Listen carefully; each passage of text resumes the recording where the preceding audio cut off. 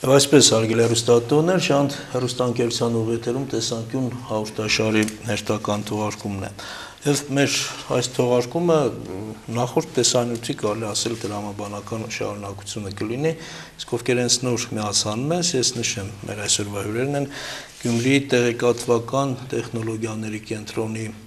մասնագետները փոխտնօրեն Ամալիա Եղոյանը եւ դասախոս Էդգար Խաչատրյանը, Էդգարը նաեւ ICT ֆիրմայի տնօրենն է ովքեր իրոք հենց նոր միացան եւ չեն դիտել նախորդ մեր տեսանյութը, ես պարզապես մեր հյուրերին իհարկե ողջունելուց հետո շնորհակալ եմ այսօր ընկալվելու համար, խնդրեմ, որ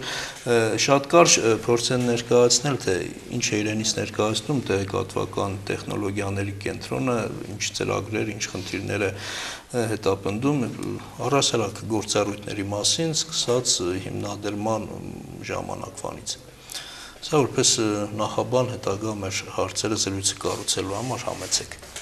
Ուրեմն Գյումրիի տեղեկատվական տեխնոլոգիաների կենտրոնը հիմնադրվեց 2005 թվականի օգոստոսին ՀՈՖ-ի Հայօգնության ֆոնդի Շիրակ տեխնոլոգիաներ ՍՊ-ի եւ ձեռնարկությունների ինկուբատոր հիմնադրամի կողմից։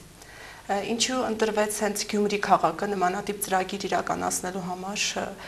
քանի որ երկրաշարժից հետո Գյումրին դժված տարածաշրջան էր, դժված քաղաք էր, չկային աշխատատեղեր, ամեն ինչ արվում էր, որ ստեղծվեին այդ աշխատատեղերը եւ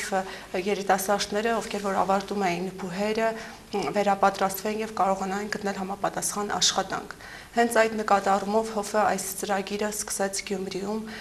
որին աջակցեցին անհատներ, Գյումրիի նվիրված անհատներ, ինչպիսիք էին Ավետիք Եսայանը, Շիրակ տեխնոլոգիաներ ՍՊ-ի տնօրենը,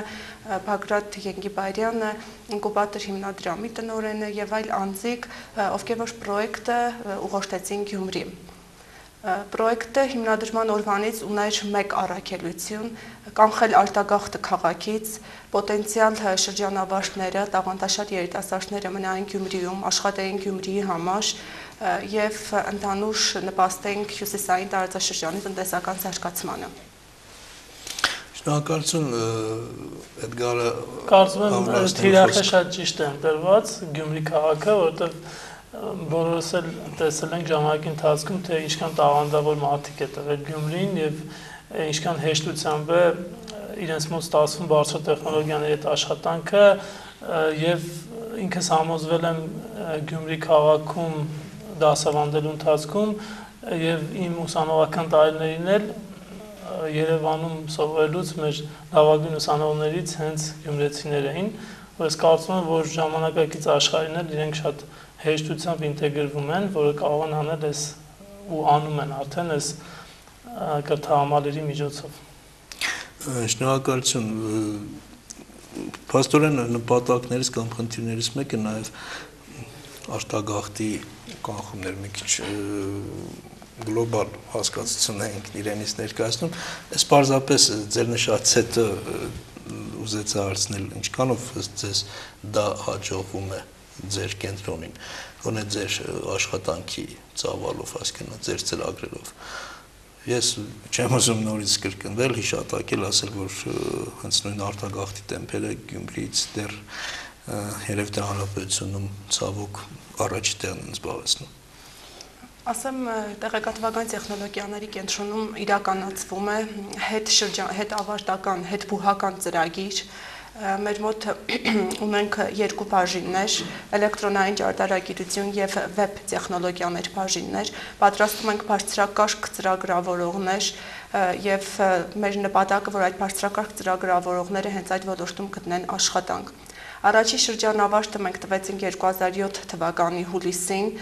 եւ երկրորդ շրջանավարտը 2008 թվականին ենք տվել։ Մեր շրջանավարտների մոտ 94%-ը ապահովված է աշխատանքով այդ ոլորտում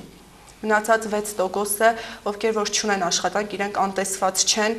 կենտրոնը միշտ փորձում է պրոյեկտներ գտնել, աշխատատեղեր գտնել այդ շրջանավարտների համար, բարբերաբար ինտերվյուներ, հարցազրույցներ են կազմակերպվում, Եթե իրենք ունեն լրացուցիչ վերապատրաստման կարիք կենտրոնը տալիս այդ հնարավորությունը, այսինքն դա կապված չէ, որ իրենք արդեն ավարտել են եւ կտրված են մեր կենտրոնից։ Իրենք ունեն հնարավորություն գալ, մասնակցել նորից դասերի, նորից վերապատրաստվել եւ դառնալ ավելի մրցունակ։ եւ այն հանգամանքը, որ արդեն 94%-ը աշխատում է եւ այն հանգամանքը, որ արդեն մի քանի ծրագրավորման ֆիրմաներ կան Գյումրիում, խոսում է այն փաստի մասին, որ մենք իրոք կարողանում ենք ինչ որ չափով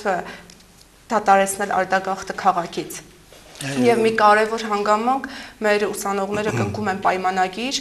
կենտրոնի պայմանը, որ կենտրոնն ավարտելուց եւ կենտրոնի վկայականը ստանալուց հետո իրենք 2 տարի պարտավորվում են մնալ եւ աշխատել Գյումրիում եթե իրենք թողնում են, խախտում են այդ պայմանը, ուրեմն իրենք պարտավորվում են վճարել այն 2 միլիոն դրամը, որը ծախսվում է իրենց ուսուցման համար։ Իրականում այս գլոբալիզացիայի դարում մի քիչ անհետ է խոսել այդ արտագաղթի մասին, երբ որ հնարավոր է ուղղակի